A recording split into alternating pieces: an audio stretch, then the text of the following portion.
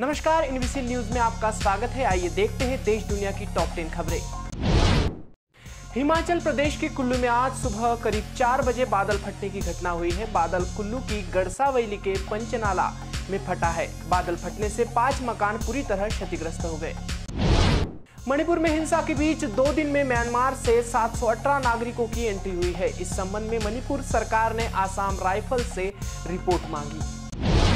संघ ने भारत सहित सत्तावन देशों में स्थापित 9000 से ज़्यादा मंदिरों का डाटाबेस तैयार किया है। इसके ज़रिए संघ छोटे मंदिरों को देश के बड़े मंदिरों के साथ जोड़ने की रणनीति पर काम कर रहा है। गढ़चिरौली ज़िले में एंबुलेंस में मिलने पर एक युवक के शव को बाइक पर बांधकर उसके गाँव ले जाया गया। शव को बाइक से बांधकर लाने की फ़ोटो सोशल मीडिया पर तेज़ी से वायरल हो रही है। महाराष्ट्र के गढ़चिरौली में दो नक्सलियों ने पुलिस के सामने सरेंडर कर दिया। इन दोनों पर आठ लाख रुपए का इनाम था।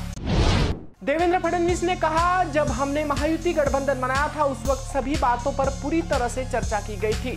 तीन नेताओं का यह स्पष्ट मानना है कि एकनाथ शिंदे ही महायुति के मुख्यमंत्री रहेंगे।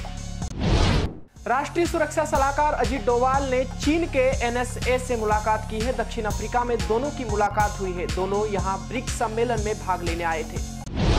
एलन मस्क ने सोमवार को ट्विटर के लोगों को बदलकर एक्स कर दिया है। इसी के साथ उनकी किस्मत ने भी पलटी मारी है। फोर्ब्स के मुताबिक वो एक बार फिर दुनिया के सबसे अमीर इंसान बन गए हैं। केंद्रीय वित्त मंत्री निर्मला सीतारमण ने सोमवार को कहा कि आयकर विभाग ने एक लाख से ज़्यादा इनकम टैक्स नोटिस भेजे हैं। ये नोटिस विभाग के पास मौजूद आय की जानकारी और इनकम टैक्स रिटर्न में दर्ज डिटेल की मैच नहीं होने या आरटीआई दाखिल करने को लेकर भेजी गई है।